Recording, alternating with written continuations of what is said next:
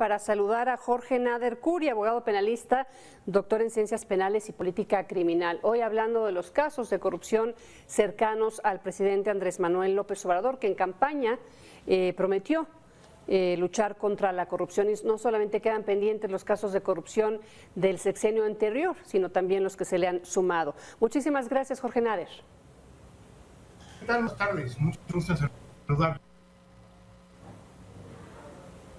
Muchas gracias.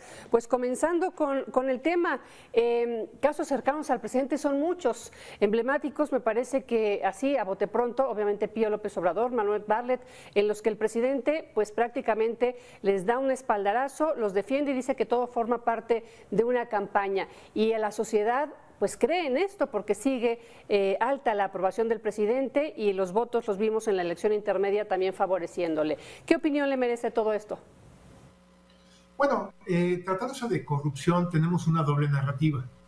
Por un lado está la narrativa política, que justamente es a la que te has referido, que tiene que ver con los argumentos que el presidente de la República expresa en las eh, conferencias de prensa mañaneras sobre los casos de corrupción que afectan a personajes públicos cercanos a su gobierno.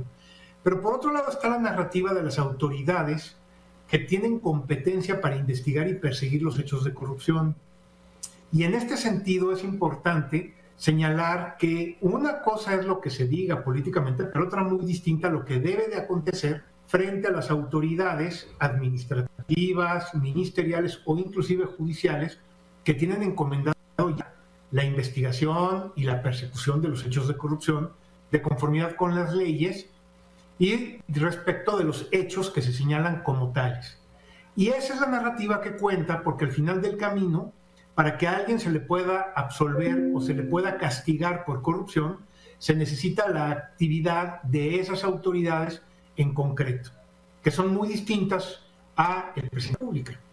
Y ahí es donde no tenemos información suficiente, porque en realidad no sabemos qué están haciendo los órganos internos de control, no sabemos qué está haciendo la Secretaría de la Función Pública, no sabemos qué están haciendo las fiscalías, ni tampoco sabemos qué es lo que están haciendo los tribunales de casos específicamente de corrupción que ya se lleven a su consideración para su sanción.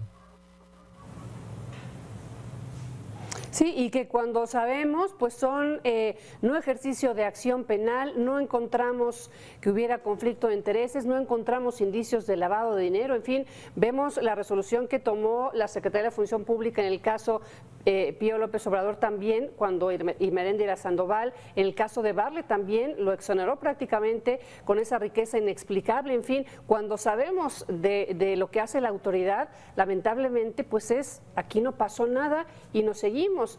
Eh, la verdad es que yo decía, nos llenamos de frustración de, eh, por ejemplo, el rey del cash, de la casa gris, de todas estas investigaciones, bueno, de investigaciones y de testimoniales como son estos libros.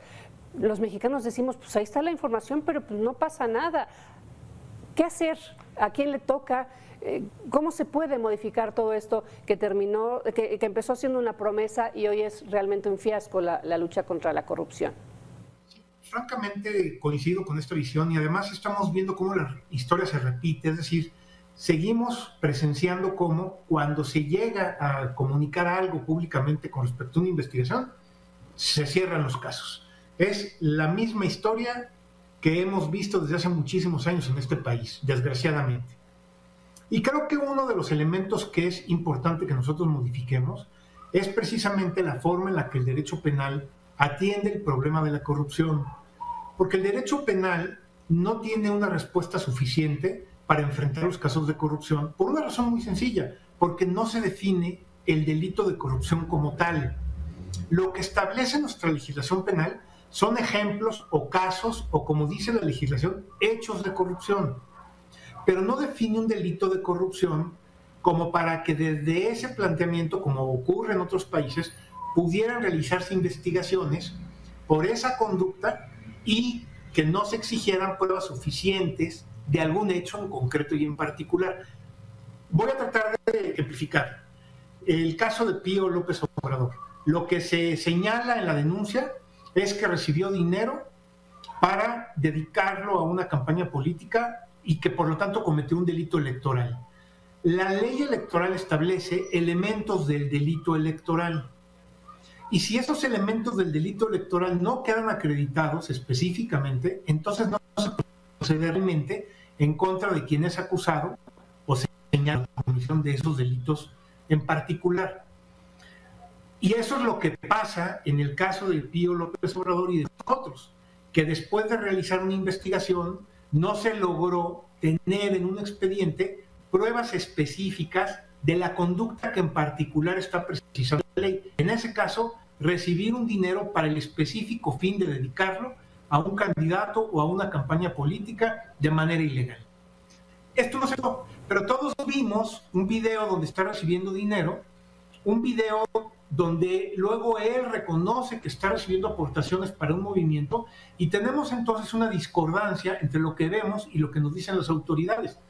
Si nosotros tuviéramos en la ley, y esto es algo que hemos repetido muchas veces, un delito de corrupción como tal, consistente en eh, desarrollar funciones públicas con la finalidad última de obtener un beneficio o de procurar un beneficio para un tercero de cualquier naturaleza, repito, como ocurre en otros países, entonces sí sería más sencillo combatir los delitos de corrupción y no ya conformarnos con tratar de comprobar hechos concretos de corrupción.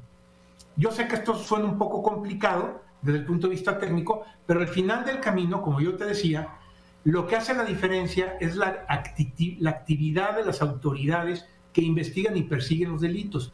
Y a ellos lo que les corresponde es aplicar las leyes, las leyes administrativas y las leyes penales. Y si esas leyes son imperfectas por las razones que te estoy comentando, repito, porque no, no se prevé el delito de corrupción como tal, pues difícilmente entonces tenemos la posibilidad de sancionar los casos que tenemos a la vista todos y que de alguna manera pues indican claramente que un servidor público está haciendo ahí algo muy mal. Sí, aquí lo que vemos entonces con todo este análisis es que hay un uso eh, político y un uso, eh, ahora sí que en conveniencia de, las leyes, porque oíamos al presidente e incluso se, amplió el catálogo de prisión preventiva oficiosa para delitos de corrupción, se, incluyeron allá, pero si quieren la ley están tipificados y vemos que el legislativo no hace nada al respecto, pues todos estamos en un juego de simulación y no solamente el, el ejecutivo, ¿no? Yo siempre he dicho que el Sistema Nacional Anticorrupción y las leyes que se establecieron alrededor del sistema son una gran simulación. Es haber reformado la Constitución y haber creado instancias enormes y el haber reformado muchas leyes secundarias con la finalidad de quedar igual, con la finalidad de que en realidad no se avance en el combate a la corrupción como se debería de avanzar. Y esto, desgraciadamente, es la realidad que tenemos. Tenemos leyes completamente deficientes, no tenemos una actividad legislativa seria que esté reflexionando sobre ese particular y mientras sigamos así, entonces continuaremos durante años y años y años viendo lo que hemos visto siempre. Corrupción, conductas claramente desviatorias del servicio público que no nos están representando como población, pero para las cuales las leyes no establecen respuestas concretas y, prácticas que pueden Más claro ni el agua. Muchas gracias, abogado Jorge Nader Curi, abogado penalista, doctor en Ciencias Penales y Políticas Criminales. Muchísimas gracias por esta claridad. Gracias, Marta. Muy amable. A sus órdenes.